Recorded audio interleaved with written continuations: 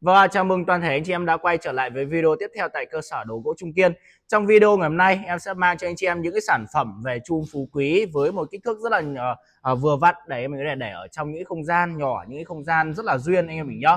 Và các bạn có thể thấy châm trai ở đây là em có những cái chum phú quý được chế tác trên chất liệu là gỗ ngọc am thơm anh em mình để không những vừa đẹp vừa duyên lại còn rất là thơm không gian ngôi nhà mình nữa anh em mình nhá đấy à, và những cái chung phú quý này thì đều được những uh, chế tác trên những cái phôi gỗ rất là hoàn thiện và rất là đậm tinh dầu. Em mình thấy trong chai quả nào quả đấy đều lên tuyết rất là nhiều em mình ạ.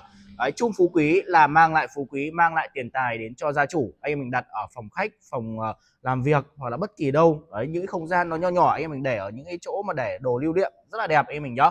À, em sẽ báo giá luôn cho anh em mình cân đối. Anh em mình thích quả nào size nào thì có thể là uh, comment lên hoặc là liên hệ cho em trai để chốt đơn em mình nhá. Với cái tác phẩm đầu tiên quả quả đầu tiên một quả uh, bé nhất anh em mình nhá. Số 1 cho em trai rất là đẹp.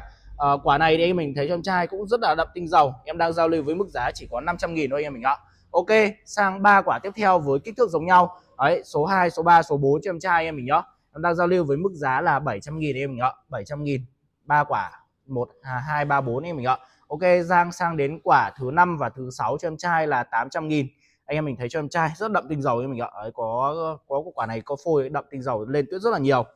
Đấy 800 nghìn đấy mình nhá. Và hai quả to to nhất cho em trai là 900 đấy. À, quả nào quả đấy thì cũng đều được làm trên những cái phôi gỗ ngọc am rất là thơm anh em mình ạ. Tại vì làm phú quý thì chắc chắn là phải một phôi gỗ nó phải thực sự là hoàn thiện thì mới chế tác ra được đúng không ạ? Đấy. À, chỉ cần phôi gỗ một lỗi một chút xíu thôi thì sẽ không chế tác được phú quý. Cho nên là các bác uh, hoàn toàn yên tâm về uh, cái chất lượng gỗ của những quả phú quý ngọc am này anh em mình nhá đảm bảo là vừa đẹp vừa thơm cho nhà anh chị. Các bác đã thấy thích tác phẩm nào rồi? Thích quả số mấy rồi?